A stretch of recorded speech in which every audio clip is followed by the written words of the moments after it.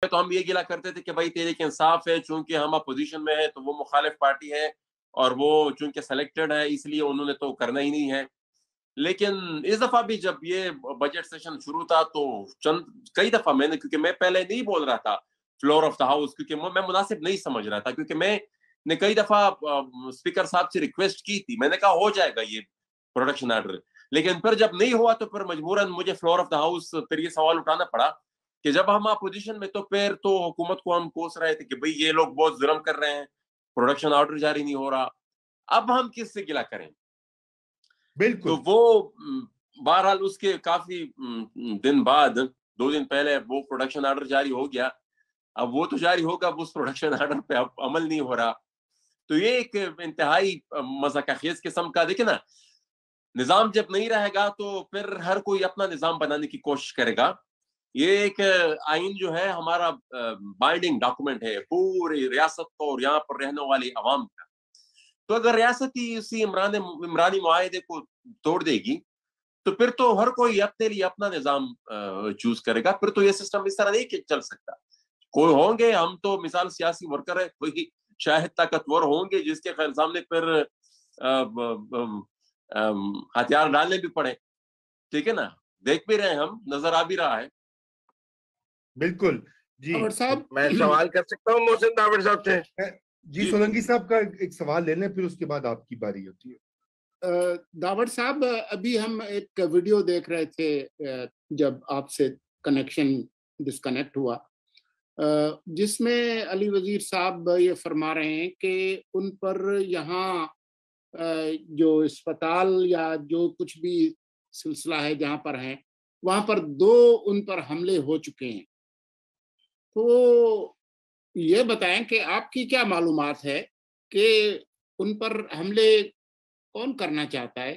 کون ان کو قتل کرنا چاہتا ہے؟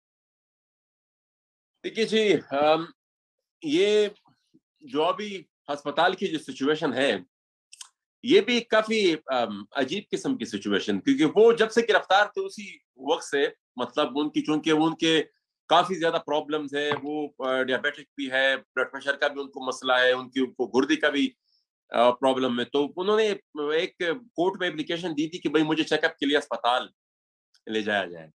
اب وہ اس وقت سے لے کر اب تک وہ کورٹ کی اس کورٹ اس اپلیکیشن پہ عمل نہیں کر رہی تھی، نہ اس پہ کچھ فیصلہ دے رہی تھی۔ اب جا کر وہ فیصلہ ہوا کہ بھائی علی وزیر کا چیک اپ ہو جائے اسپتال میں۔ تو جیسے ہی اس کو اسپتال لے جاتے ہیں، اسی وقت پھر اس کا پروڈکشن آرڈر بھی جاری ہو جاتا ہے۔ پھر جب پروڈکشن آرڈر ہو جاتا ہے پھر وہ اسپتال سے اس کو ڈسچارج نہیں کیا جاتا۔ اور پھر یہ جو کل آپ خود اس ویڈیو کی بات کر رہے ہیں کہ وزیر نے جو خود کہا ہے نا، یہ وہ کہ معمولی بندے تو نہیں ہے کہ مثال وہ راہ چاہتے کچھ بھی کر لے، کہہ لیں گے۔ از ممبر آف پارلیمنٹ وہ پاکستان کے ایک معزز ایوان کا اور سب سے سپریم ادارے کا ایک ممبر ہے۔ وہ اگر کچھ کہہ رہا ہے تو اس کو سیریس لینا چاہیے۔ اگر وہ کہہ رہا ہے کہ بھائی مجھ پر دو دفعہ یہاں پر اسپتال میں حملے ہوئے ہیں۔ تو ہم یہ عالمیہ ہے کہ ابھی تک اس پہ نہ کوئی تحقیقات کا کی شروعات ہوئی ہے۔ تو ہم تو یہی مطالبہ کریں گے کہ یہ جو علی وزیر صاحب کا کلیم ہے یہ ہر ایک شہری کا یہ حق ہے۔ آپ ممبر پارلیمنٹ ہو نہ ہو لیکن چونکہ آپ ممبر پارلیمنٹ جب بن جاتے تو آپ پھر لاکھوں لوگوں کو ریپرزینٹ بھی کر رہے ہوتے ہیں۔ تو پھر آپ صرف ایک انڈیویجول نہیں رہتے۔ تو آپ اپنے کانسٹیٹوینٹس کو بھی پھر ریپرزینٹ کرتے ہیں۔ تو ان کا جو کلیم ہے کہ ان پر حملہ ہوا ہے، اس کی بھی تحقیقات ہونی چاہیے۔ اور ساتھ ہی ساتھ یہ جو پروڈکشن آرڈر ہے، میں نے آج بھی سپیکر صاحب سے کہا کہ دیکھیں، آپ نے پروڈکشن آرڈر جاری کر دیا، اس پر اب تک عمل نہیں ہو رہا۔ تو اس پہ بھی آپ تحقیقات کریں کہ یہ تو پھر سسٹم کا پھر پارلیمنٹ تو مزاقی پھر بن جائے گی۔ جب آپ اسپیکر کا ایک معمولی سا، یہ تو کوئی اتنی بڑی بات نہیں ہے۔ پروڈکشن آرڈر کہ بھائی میرا ممبر اس ہاؤس کا اس کو آپ یہاں پر پریزنٹ کریں۔ اب جب اس پر بھی عمل نہیں ہوگا تو پھر تو میرے خیال میں وہ پارلیمنٹ تو پھر اس کے تو پھر خیر خیری خیریت۔ جی جی بند کر دینا چاہیے۔ جی ہاں پھر تو بند کر دینا چاہیے۔ پھر وہاں پر صرف اس نمائشی بیٹھک کا پھر فائدہ کیا ہے؟ بالکل بالکل۔ ڈی چوک کے اوپر بس ہونا چاہیے جلسہ۔ جی اور وردی صاحب آپ کا سوال تھا۔ میں میں محسن داور صاحب سے پوچھنا چاہتا تھا کہ آپ کی باجوہ صاحب سے ملاقاتیں ہوئی بھی ہیں پھر بات ریزالو کیوں نہیں ہوتی؟ دیکھیے ان سے پہلی ملاقات سے جو ہماری ہوئی تھی میں بھی تھا منظور پشتین بھی تھا کچھ ساتھی بھی تھے وہ تقریباً 2018 میں ہوئی۔ اور جب پی ٹی ایم انیشلی بنا تھا۔ تو اس وقت وہ ملاقات جب ہوئی تھی تو ہم نے یہی بات کی تھی کہ دیکھیں نا جب تک گراؤنڈ پہ ہمیں پالیسی میں تبدیلی ہوتی ہوئی نظر نہ آئے ہم نے کسی چیز پر بھی یقین کرنا نہیں ہے۔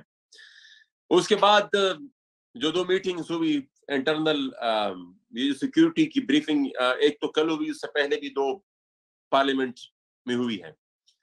تو ہم نے پھر اس میٹنگ میں بھی انہوں نے کہا تھا کہ بھائی، آپ تو آئے بھی تھے، ہم نے آپ کے سامنے ساری باتیں رکھی بھی تھی تو میں نے کہا اس میٹنگ میں بھی ہم نے یہ بات کلیئر کر دی تھی کہ دیکھیں، جب تک ہم گراؤنڈ پہ کچھ تبدیلی ہوتی ہوئی نہ دیکھیں، زبانی جمع خرچ سے پہ ہم یقین کرنے والے ہیں، نہیں، اور پھر وہی ہوا۔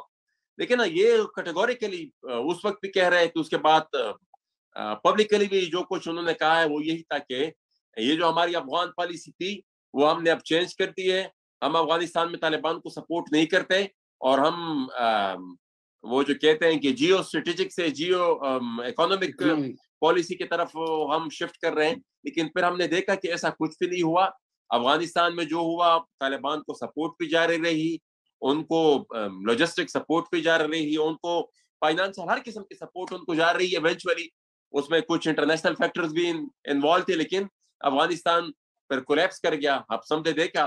اور وہ پالیسیز میرے خیال میں اس کی کنٹینیویشن ابھی تک جاری ہو اور اس پالیسی سے ہم نے نہ کچھ سبق ماضی کے غلطیوں سے سبق سیکھا ہے اور ہم اسی پالیسیز کے ساتھ ابھی بھی جاری اور ساری ہے لیکن اس کا جو ریئیکشن ہوگا، جو ہم دیکھ رہے ہیں، حالات جس نہج پر پہنچ چکے ہیں یا جس طرف جاری ہے اور میں نے اس دن پارلیمنٹ میں بھی کہا، کیونکہ ہمارے جو چار ساتھی شمالی وزیرستان میں جن کو ٹارگٹ کلنگ میں شہید کیا گیا، تو وہ اس کے بعد میرے میں نے پارلیمنٹ میں بھی اپنی سپیچ میں کہا کہ اس دفعہ جو ایڈونچرز ہو رہا ہے، اگر پاکستان کی دوسرے حصے میں رہنے والے عام شہری یا ان کی جو سیاسی قیادت ہے، اگر وہ یہ سمجھتی ہے کہ ہم تو ویسے بھی محفوظ ہیں، بس جہاں ہو رہا ہے وہیں پہ ہو رہا ہے، ہم کیوں اس کی فکر کریں؟ میں نے کہا اس دفعہ اس طرح ہوگا نہیں، یہ اس آگ سے پھر اس دفعہ کوئی بھی نہیں بچے گا۔ اس دفعہ وہ جس جس جگہ تک پہنچے گی، میرے خیال میں پھر آپ لوگ پھر اس کے بعد تماشا دیکھیں گے، پھر اس کو شاید کوئی روک نہیں سکے گا۔ تو گزارش یہ ہے کہ وہ تو ہو ہی ہے۔ زبانی جمع خرچ پہ تو ایوری تھنگ از اوکے وہ کہتے ہیں کہ بھائی سب کچھ ہم ٹھیک لیکن جو عملی کام نیچے گراؤنڈ پہ ہو رہا ہے وہ اس طریقے سے نہیں ہو رہا۔ وہ کچھ اور ہو رہا ہے اور جو اس طرح کی میٹنگز میں بتایا جاتا ہے وہ کچھ اور ہوتا ہے۔ صاحب ہو رہا۔ جواب مل گیا تو اور یہ جو ٹی ٹی پی سے مذاکرات ہو رہے ہیں اور دیکھیں نا اس میں وزیرستان شمالی وزیرستان ایک بڑا سٹیک ہولڈر ہے ان مذاکرات میں۔ کیونکہ ٹی ٹی پی کی وہاں پریزنس جو ہے وہ رہی ہے اور آپریشن بھی وہیں کیا گیا ٹی ٹی پی کے لیے داعش کے لیے۔ تو ان مذاکرات کا آپ ان علاقوں پر کیا اثر دیکھتے ہیں؟ ہمیں تو یہ بتایا گیا ہے کہ اس سے وہاں امن آ جائے گا۔ دیر پا امن آ جائے گا اور پاکستان میں جو یہ مسائل ہیں وہ ختم ہو جائیں گے۔ آپ کہتے ہیں آگ بڑھ جائے گی۔